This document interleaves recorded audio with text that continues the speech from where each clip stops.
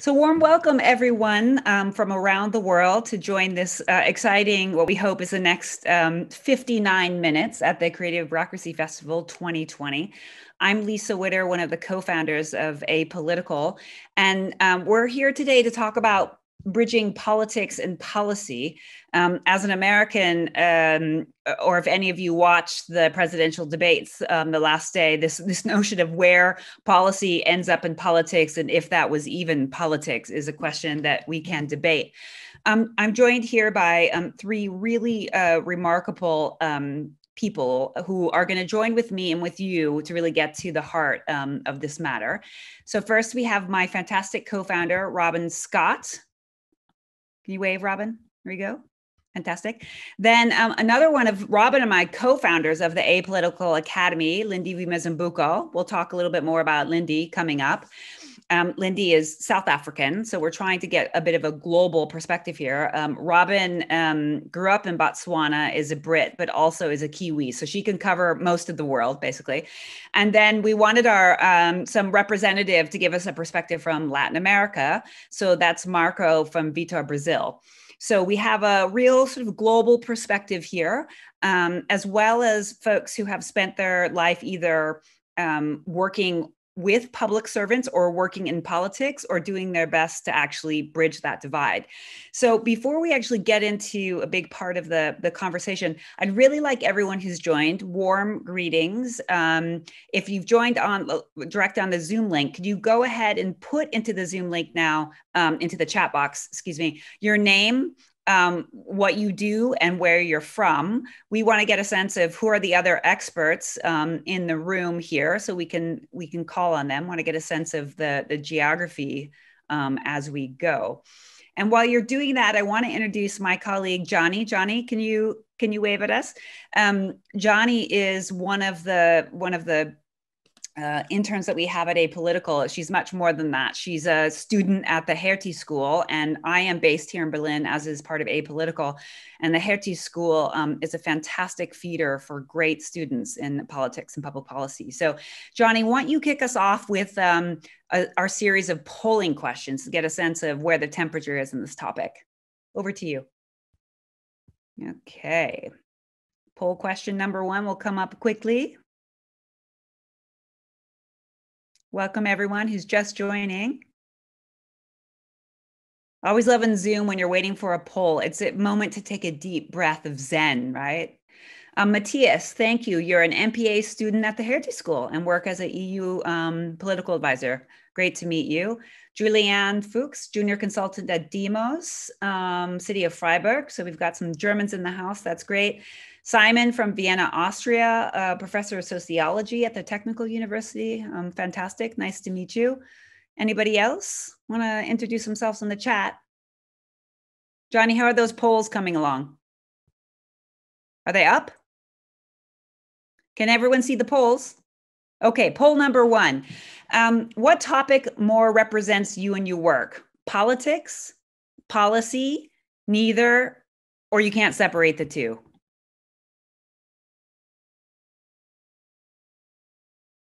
Try not to think about it too much.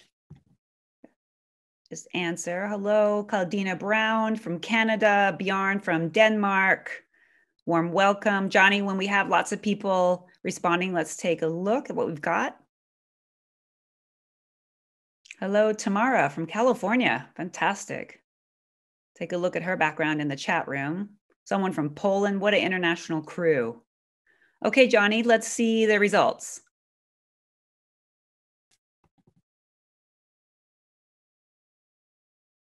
Or tried to see the results. Can you see it? Or can the others see it? Yep. Okay. Okay, it's just me then. Okay, Johnny, can you read out the results for for me? Okay. So um eight people, which is 50%, say policy interests them more. And um, 19% say politics. The other 19% say you can't separate the two. And 13% say neither. Okay.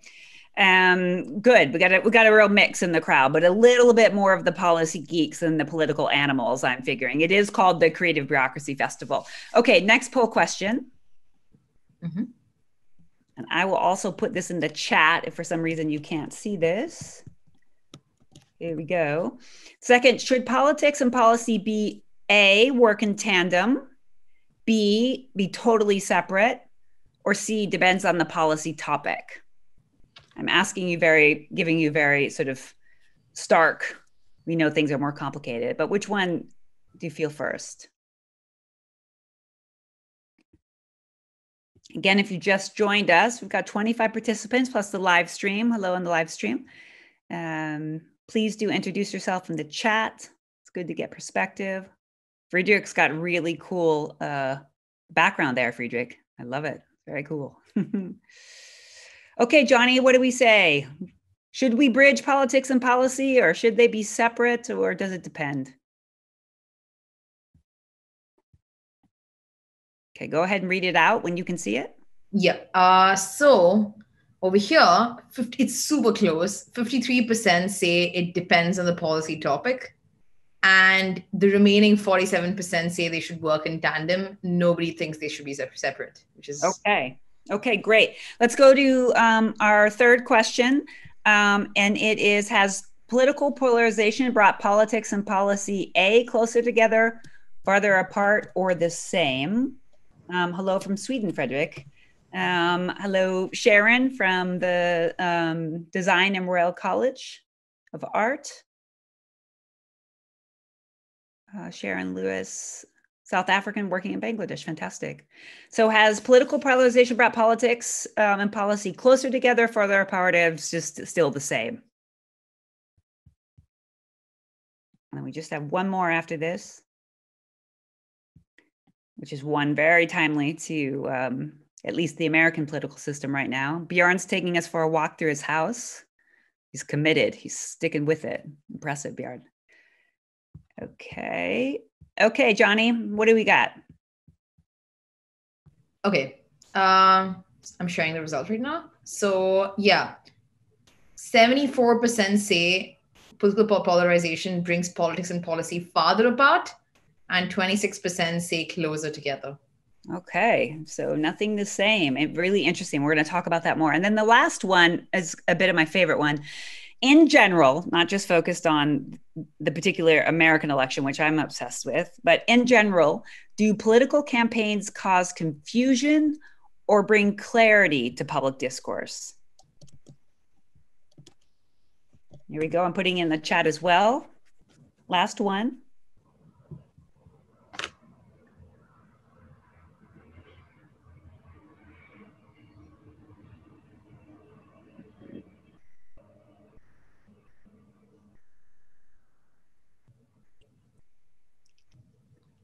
Hello, Letizia.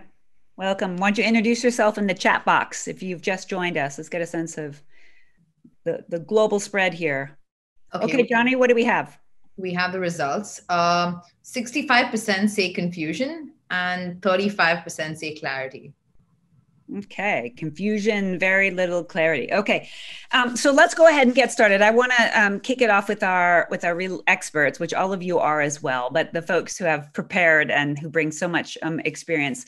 Um, Lindiwe Mazibuko was the first um, Black woman to be the opposition leader um, for the DA in South Africa. She is a political powerhouse. Um, on the continent and the world. Um, most importantly, she's my friend and Robyn's friend and recently um, has co-founded and is running um, nonpartisan political training institutes in southern africa and um, building out a global network. Lindy um, tell us something just quick about your background that brought you to politics that may not be in your bio.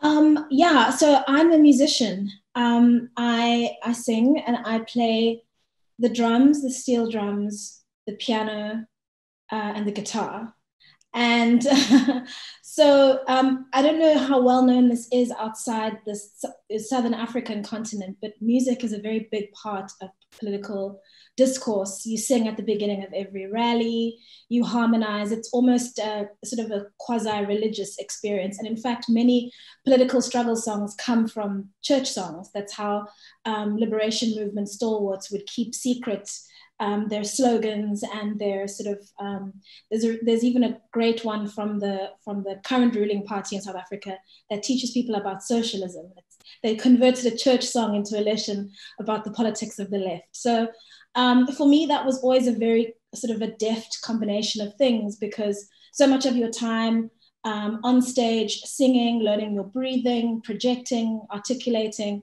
um, is both the practice and the principle of politics, which is clarity, um, you know, voice, uh, scale, sound, um, and all of those things. So it wasn't intended to bring me into politics. It's what I did before I was a politician, but it's a it's a set of skills that has stood me in very good stead in my political career. Oh, Lindy, maybe at the end, could we get a little song to? I'm also very shy. well, maybe maybe we can warm maybe we can warm you up to it. Um, Marco Marco um, works for Vetor Brasil and is part of the the movement in Brazil to really support public servants. What you give us a little bit more about what you do at Vetor Brasil and something in your background that uh, brought you to this public service policy space. Thank you, Lisa. Very happy to be here. So Vetor Brasil is a nonprofit organization that attracts, selects, and develops people to work in the pub, in the Brazilian public sector. And our mission is to create a diverse uh, and talent network of individuals to, to enhance our public sector. And we have over 500 people in our network today that have worked in all state governments across, across Brazil and also in major cities. Um, and uh, more recently, we've just released this year our public administrator residency program, which is similar to a medical residency, but focused to create a new generation of uh, public problem solvers and implementers. Uh, about myself, a, a, little thing that's in my bio that brought me to work with the, with the government. I joke that I work with the public sector to be contrary to my father. Uh, and I think, and I think it's part, partly true. When I was a kid, uh, I remember that my father said to me, never work with the government and never trust the government because his firm bankrupted because the government defaulted on him. And those were really, really tough times for our family and for us. And I understand how upsetting this was for him. But over time, especially being exposed to the huge inequalities in Brazil uh, from the side of my mother's family in the northeast of Brazil, and also in the work I did, I had to disagree with him. And I just hope that we can expect more from us as a community and, and as a people that we should be able to coordinate ourselves to solve our public problems and issues and that the government has a fundamental role in being the protagonist in this change. So that's that's something that i wanted to bring. Marco is your dad proud of you now? I think so yes. At first he was like why why are you doing this? But now i think he gets and i think he agrees with me as well So fantastic. Robyn Scott, who um, is my co founder and one of my dearest friends. We've been on this apolitical journey now for six years intensely.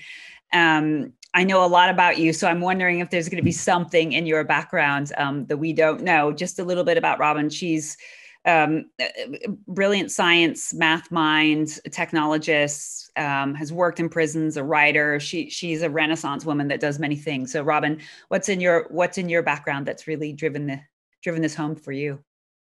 Well, first, very important fact. Um, so I have I have witnessed Lindy singing a lullaby to my my little boy, who's also Lisa's godson, and I can I I, I really encourage us to try and get her to sing at the end. It's wonderful.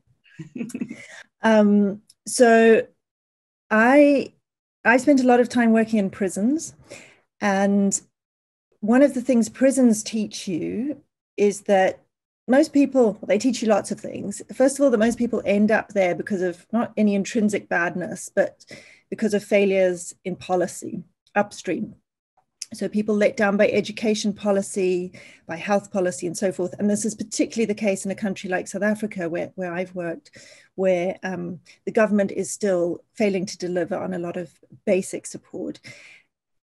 And then you spend a while in prisons and you realize that you can do great innovation, but you're not going to really achieve anything unless you move to that upstream point and exert leverage and nothing has more leverage than, than government to fix those problems.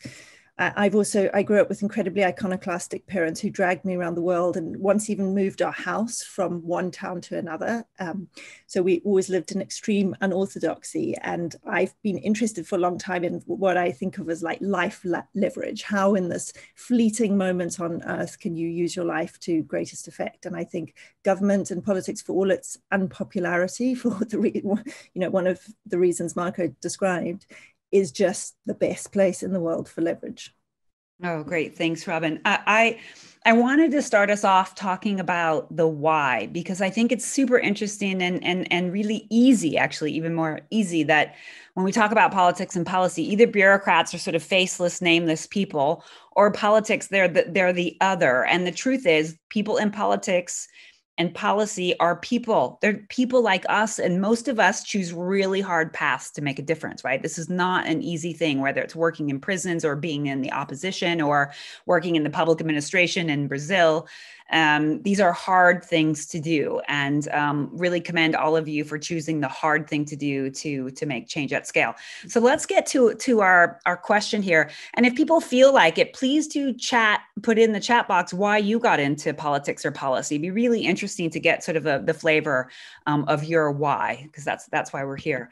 Um, so I'm going to start off. I've I've um, prepared um, a couple. Uh, things in advance for the speakers to speak to. And Robin, I'm going to just start with you. Um, at Apolitical, we talk a lot about the democracy flywheel. It seems like the perfect way to set up where politics and policy come to place. Can you go ahead and share that?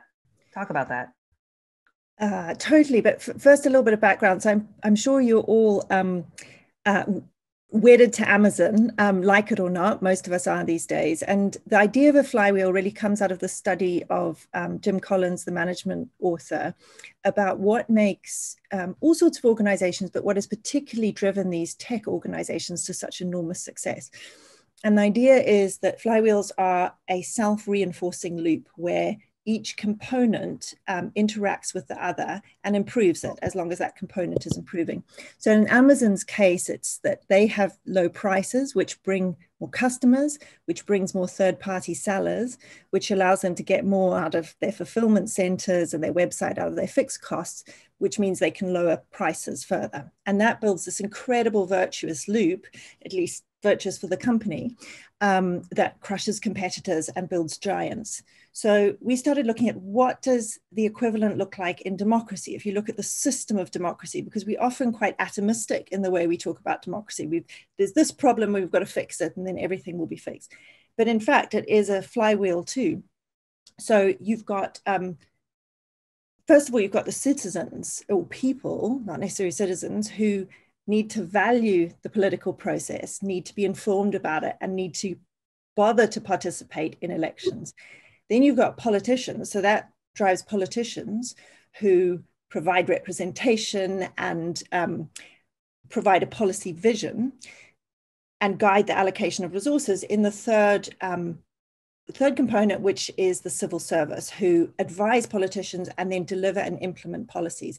And each of those components in this beautiful flywheel reinforce the other. You get more trust in government civil services deliver so citizens think it's worth to, worth voting and so on and what's happened recently is that we have begun we've begun to neglect all the components of the flywheel so democracy writ large has slowed down and that's why at apolitical we're passionate about working across that wheel and supporting other organizations who are working across it as well so yeah, it's it's a kind of a an ode to um, that bridging piece with the citizens really um, being being the power in that.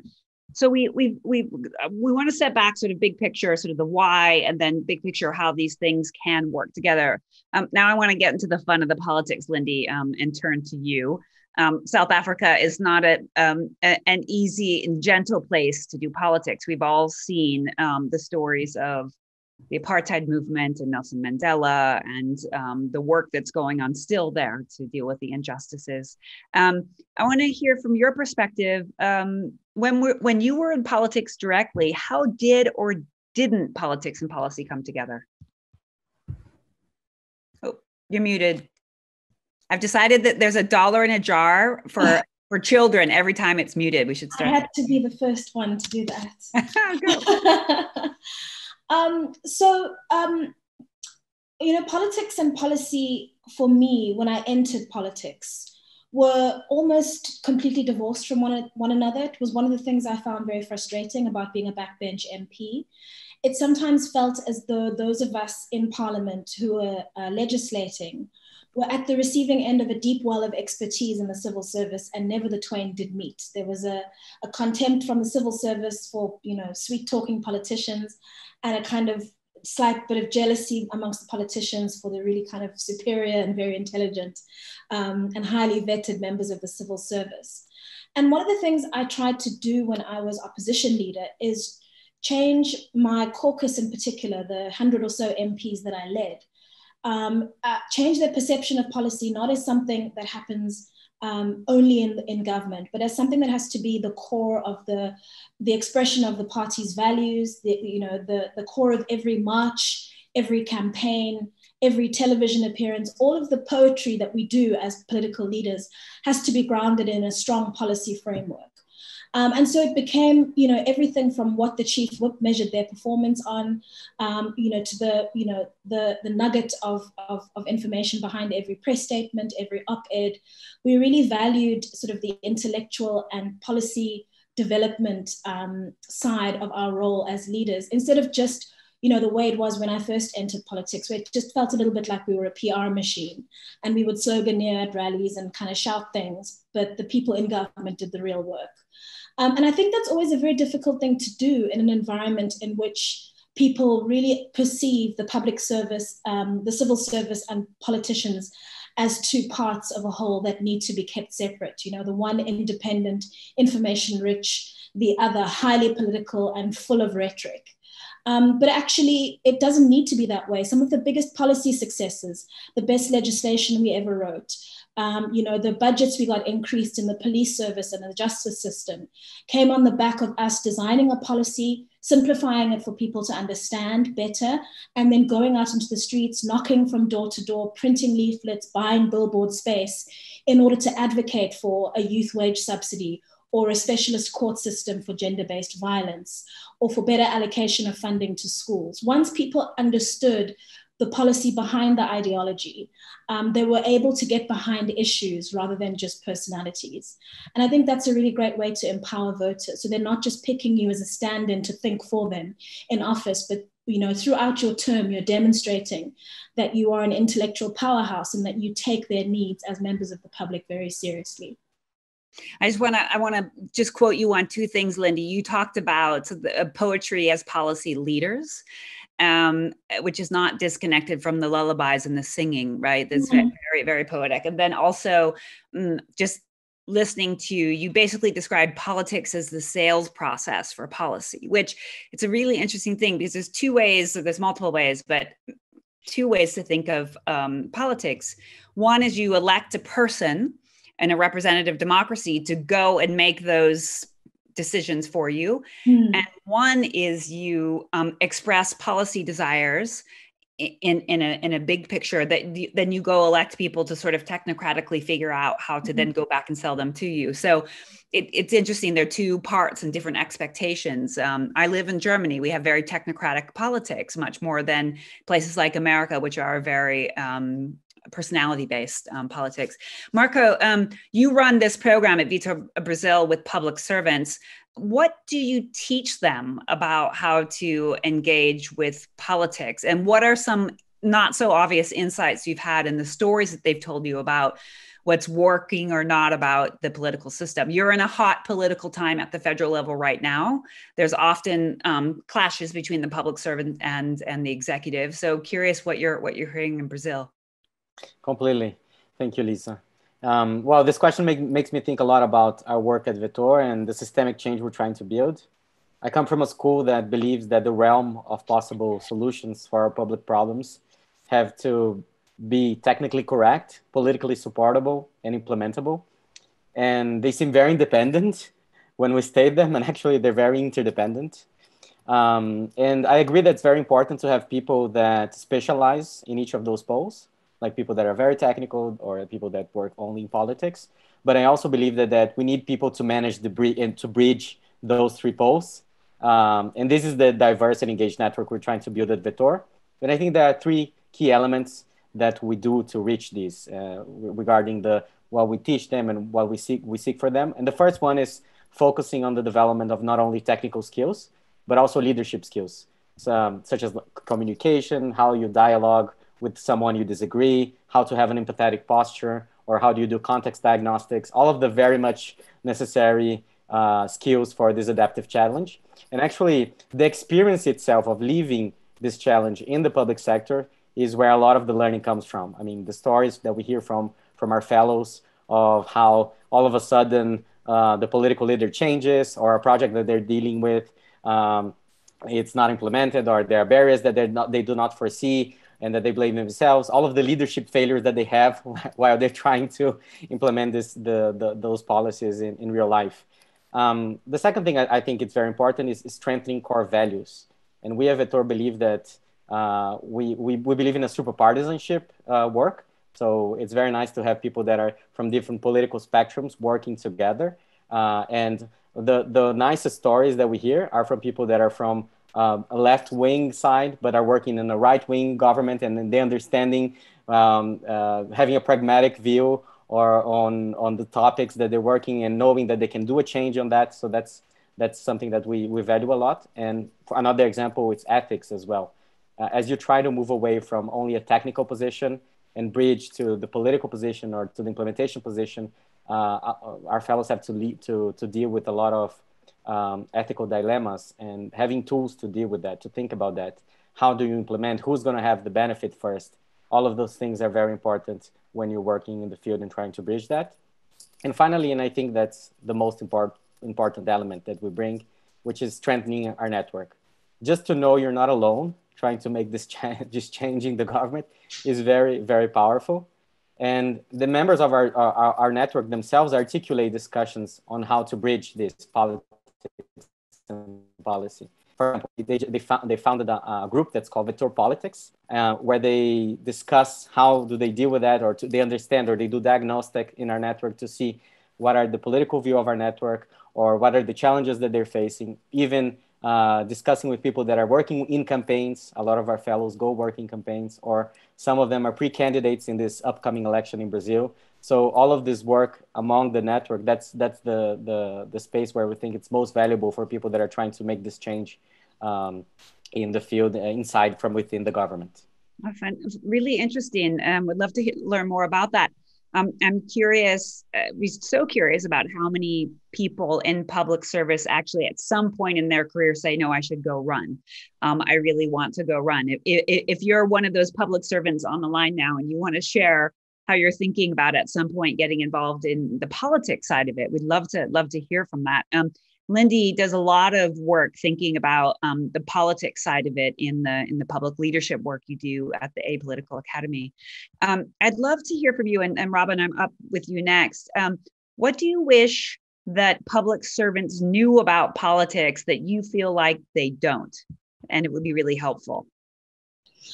Um, I, I wish, and I spend a lot of time implementing this wish at Apolitical Academy. I, I wish public servants would take more seriously um, the narrative building, storytelling, the poetry side of get, getting um, their their policies implemented. I think it would, it, you know, if public servants saw themselves in much more than an instrumental fashion, but also saw themselves as people who have to bring constituencies together, convince stakeholders, you know, uh, bring people to, to, to, to an understanding of new ideas um, I think there'd be a lot less of that tension between you know the campaigning poetry and the and the governing in in, in prose.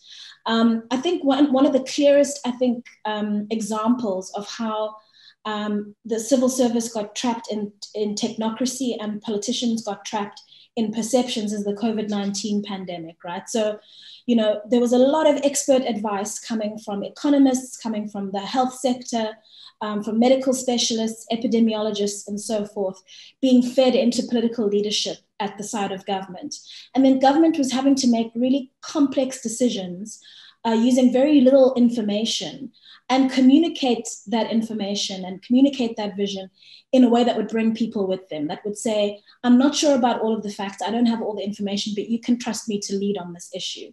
And it would have been so great if the specialists like Dr. Fauci were actually out in the field doing the same work because it's almost going straight to the source. You don't have to translate the specialist knowledge from the the bureaucrat to the politician, you can actually have bureaucrats on television giving interviews, helping people understand, and engaging in that work of bringing people with them in a crisis where there's really no time to be translating, right, from technocracy to, to, to political discourse.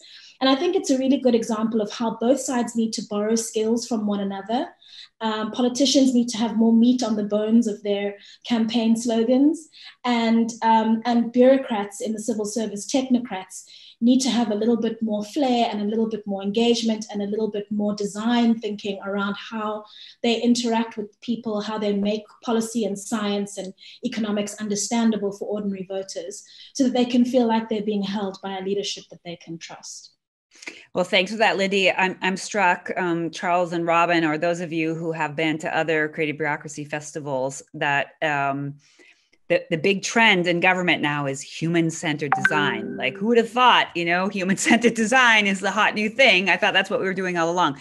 But it is basically part of what you're saying, Lindy, is that public servants are less technocratic, cascading down a policy and thinking much more about who are the people, how do we co-create, um, and what do we do? And, and Robyn Scott, with that, you know, at Apolitical, we sit on on this platform of information, data, and knowledge about what public servants want. Why don't you tell people a little bit more about what Apolitical is and what they're telling us they want to learn? Well, just to, to sound a note of um, optimism, um, following on from what Lindy said. So, so we now have nearly 100,000 policymakers and public servants from 170 countries using our platform to share um, and find uh, policy solutions, approaches to, to common problems, and to take uh, courses to build skills and depth in different policy areas. And interestingly, um, the majority of our platform uh, comprises bureaucrats. We do have some, um, we have political people, but it's mainly bureaucrats. And storytelling is one of the top most sought after skills every time we do anything on it. So the good news is that there's there's broad recognition amongst a really diverse group of, of public servants. Um, maybe just to to point out a couple of the other things that there's a lot of demand for. Um, the stuff we've mentioned um, human centered design, citizen engagement, and the like. Change management and leading change always massive because I think, and, and going back to the, the kind of politics policy um, issue, often public servants are given this really difficult challenge where they have to become internal politicians within the civil service. They have to marshal lots of disparate groups who all have slightly competing interests because of the bad design of most governments. And then they have to, as a project is inevitably implemented and is short of some resources and start, starts failing and becomes toxic, they then have to like get everyone behind them to put more resources um, in it. So there's lots of interest in how to do that compellingly, um, which can sometimes be, for example, and this is sort of an adjacent skill, lots of interest around data. So, how can you take what is normally in the technocratic realm and put it into the realm of, of sort of practice and big picture outcomes for, for citizens and difficult trade offs? So, we specialize in all of that. And um, at our heart is the belief that, that most of the knowledge that we need is actually already there. Um, it's just not evenly distributed. And we are trying to unlock the knowledge within government and um, make it flow rapidly across different cities and, and different countries. Thanks, Robyn. I, I want to get the audience in. So if you have um, not an audience, the, the, the, team of people around this Zoom call looking at each other, if you have questions, please um, put them in the chat box and I will try to, to call on people. Or if you have a big takeaway so far, like what something that struck you as interesting or different. Marco, I'm particularly thinking about you and the in the situation in Brazil around some of the ethical questions um, around where politics and policy come together. I've spoken to a number of public servants, not just in Brazil, but happens to be where if the executive comes in and puts forward a policy that they, in their heart, don't feel like that's the right way forward, it's a real ethical dilemma um, about what to do about that. So, what how are your public servants talking about that? You know how how are they um, working with that? And we we hear a lot around the need to bring public servants closer to like asking their opinions more if they're going to be doing the implementation. So i'm just curious what do you do when you disagree with your politician? That's that's a very interesting question and a, and a very tough one to be dealing with when you when you're in the field and you and you find this ethical dilemma. I think the first uh, i think the first thing that we advise our fellows and we try to teach them is to identify that that you're living an ethical dilemma. And sometimes you, do, you you're just like so constrained or feeling unease but you don't understand what is the ethical dilemma that's posed upon you or that you're living. And that's and that's a part of uh, having a, more, a, a, better understanding of ethics in general of different views or world views in ethics or also of, and also of self-knowledge of understanding your own values. And then by when you when you identify that you're living this ethical dilemma you have to be strategic on how you deal with it. Um, and the and so what are the options that you have on the table? Uh, how how far off are you? How how stressful is that for you? Is this something that's gonna make you do a, an ethical suicide, which is leave the organization because you can't deal with this ethical dilemma that you're dealing with, or are, are there ways that you can try to influence or to po- or to show the conflicts that are being posed because of the decisions that are being made? Um, and uh, it's not it's it's not an easy it, it's never easy to face an ethical dilemma especially when you do not have the authority. And when you do not have the authority you have to either try to find a way to use leadership to change it or you just have to uh, uh, either accept it or leave. So th- th- those moments are very hard. So what, w- what do we do is that we have our compliance channels where uh, our fellows can reach us in seek for help and most of the times, what we do to help them is to structure the problem for them, and then to help them uh, seek alternatives and think on, and think how can they deal with the situation. And if it's something that's really unethical or has to do with corruption or something, a deviation of the work in the public sector, we also try to instruct them on uh, the channels that they may use inside their, their public sector to, uh, to make uh, uh anonymous uh, complaints or the, even decide what's how they could face the, this issue. But uh, facing an ethical dilemma is, is always hard, and there's no easy answer. It's very specific to each case that you're living. Thanks. And I think it's just really worth stating as we become more polarized and the center moves out, that there will be centrist or people in government that have to or asked to do things they disagree with, which is not an easy thing. This next question I want to ask, um, I'm going to put to you, Lindy, um, and then maybe I'll ask some others. I, I one of the um, inspirations or things that scared me that that brought me and Robyn together to to co-found Apolitical was a friend of mine is um is a minister of um, a, a topic. Um, and uh, when he got elected, there was a crisis, and he called me to ask for policy advice. And I was really nervous about like, why are you calling to ask me for policy advice? Isn't there? Isn't that what you know, right? Like you are the minister of X. Have you spent any time doing this? Are you surrounded by this? And I thought, wow, what what a big difference we could make if if he could find policy advice the way we could find a lump in a mattress on TripAdvisor. So that was a big sort of driver for Robyn and I to think about how to bring those things together.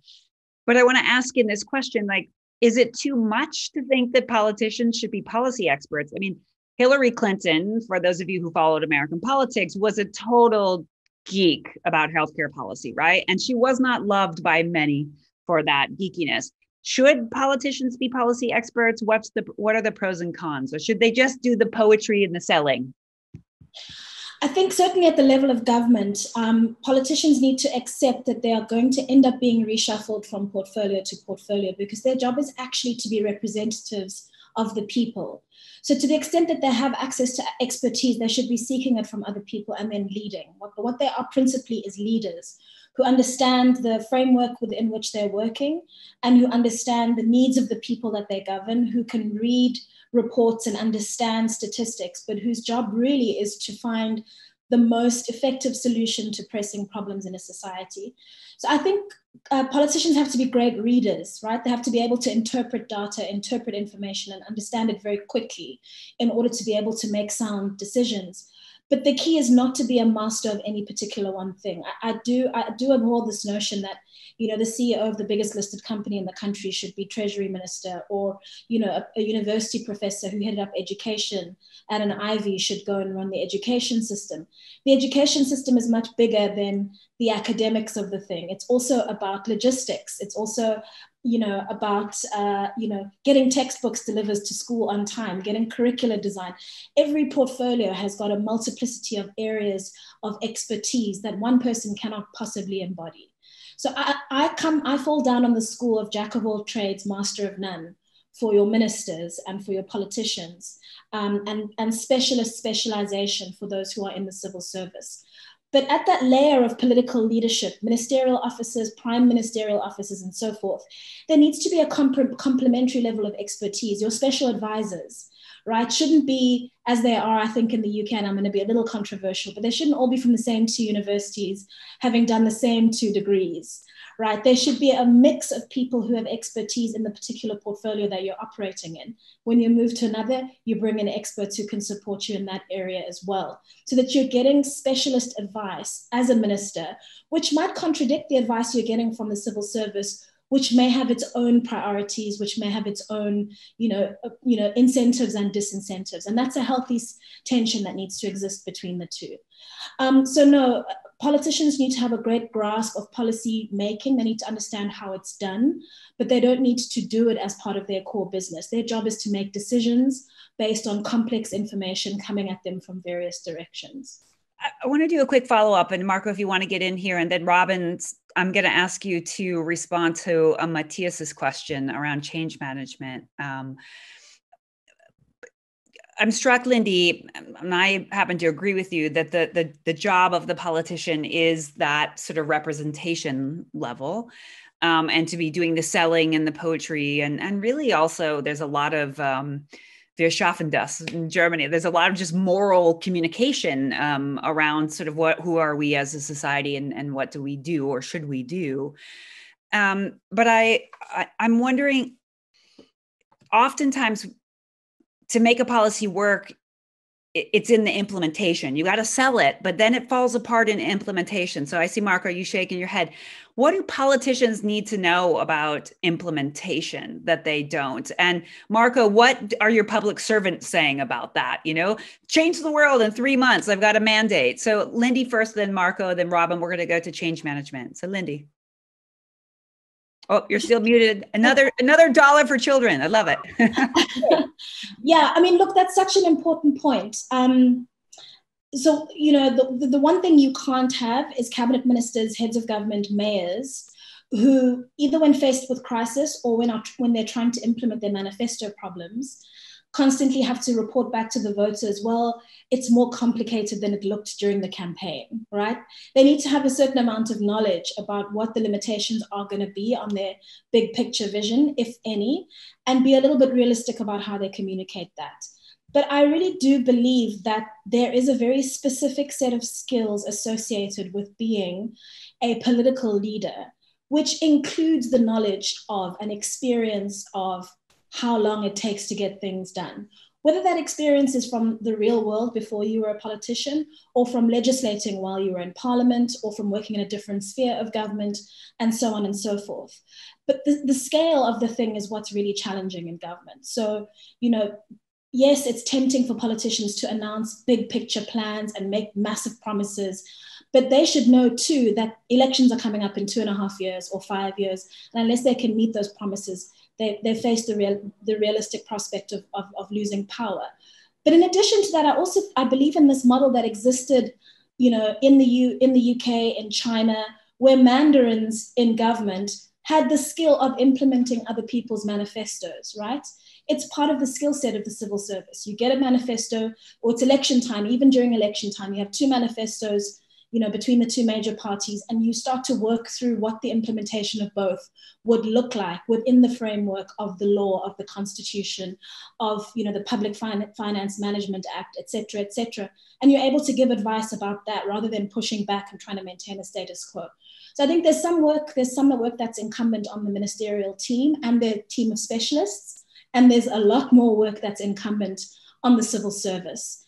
And I think part of that is an acceptance on both sides that they can't do everything, and an acceptance on, on the ministerial side that they are, they are they have a responsibility to have expertise in-house, and on the civil service side that they have a responsibility to implement the manifesto promises of the democratically elected government, right? Um, and those, I think, are concessions that both sides don't often want to make because they're very difficult concessions to make. They increase the workload, they increase the emotional intensity and the, the levels of engagement, they challenge trust, um, and so on and so forth. But but ultimately, implementation is the key. And unless the government can follow through on its promises, demonstrably so, with the data to back it up, they're going to find themselves in trouble um, come election time. And I guess that's the crude mathematics of democracy is the hope that, you know, if people don't serve you in office, you can fire them five years later.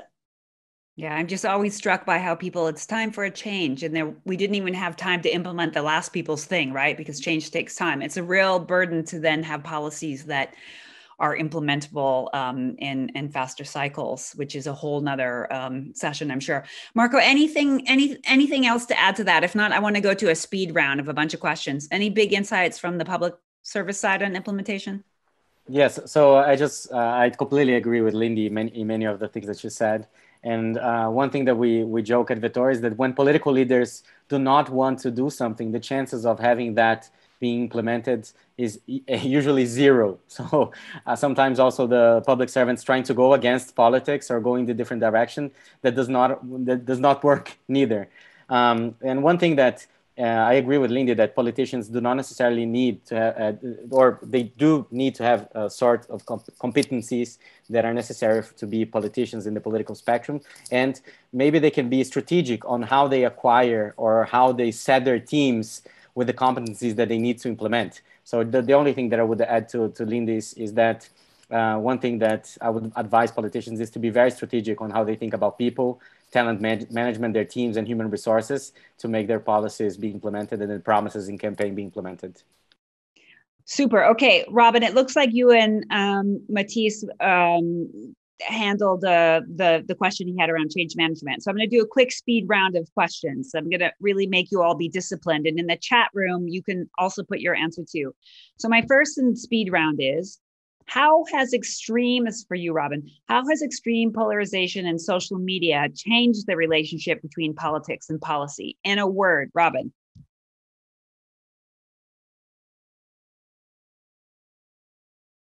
Another dollar for children, Robyn. I put in the chat. Uh, you heard me on the chat. Degraded it. Degraded it. Marco. I think I, uh, I would say it's in, in, it made it harder. It harder. Me... Harder. Lindy, are you saying harder too? What's your word? Sexier sexier. Oh okay. Yeah. degraded and sexier. So that, that those can be the same thing sometimes. Okay. Next thing um, i'm going to ask is how might tech impact the bringing together or not of politics? So all this new tech all this new citizen engagement civ tech all of this is is technology going to help bridge politics and policy? And will that be good or bad? Robyn in a sentence or two I think it's entirely non deterministic. It's how we use it. And we're at the brink of it going uh, both uh, to heaven or hell. Heaven or hell. Uh, Marco, you guys can stay think, off think, mute because I'm going to go quick. Marco. I think we're, we're in the process of learning, uh, making mistakes and learning. Making mistakes and learning with heaven and hell. Lindy. Yeah, I agree with both Robyn and Marco. It can foment ethnic tensions in Southeast Asia. It can improve oversight, you know, in West Africa. It depends on the people using it. Non-deterministic. Will it be heaven or hell? If you have not seen um, the social dilemma, dilemma. Um, watch it. Um, at Apolitical this summer, we worked with um, 45 uh, bureaucrats and policymakers to ask the question what do we do about governing the internet um, before it begins to govern us? Um, so the so next speed one, this is my favorite one. Lindy, um, you're the goddess of the world. You can wave a magic wand and make politics and policy work better together. What do you do? If I can wave a magic wand, um, I would demand better, newer, um, more radical ideas. Oh, that's my dog. he, he agrees. Better, newer, more radical ideas. Yeah, um, what Elizabeth Warren calls uh, big uh, structural changes, as opposed to tinkering at the edges. That can only happen with expertise on the one hand and campaigns on the other. Big new ideas, big new ideas. How about you, Marco? You get a magic wand to change this either divide or not of politics and policy. What do you do? I'd like to solve the information asymmetry and increase the level of trust. I think that. Me too. Me too. Robyn. Yeah, mine mine speaks to trust. It's one step back. It would be for the media and the information medium writ large to accurately represent what government delivers to people. So the good and the bad, because we never hear about the good, and that creates this antagonistic relationship between politics and citizens and government, which means it's under resourced in terms of talent and money, and that creates a vicious cycle. Yeah, I'm really struck by thinking back of this guy named Barack Obama who ran for president of the United States. And he talked about making politics cool again and a government that we believe in again.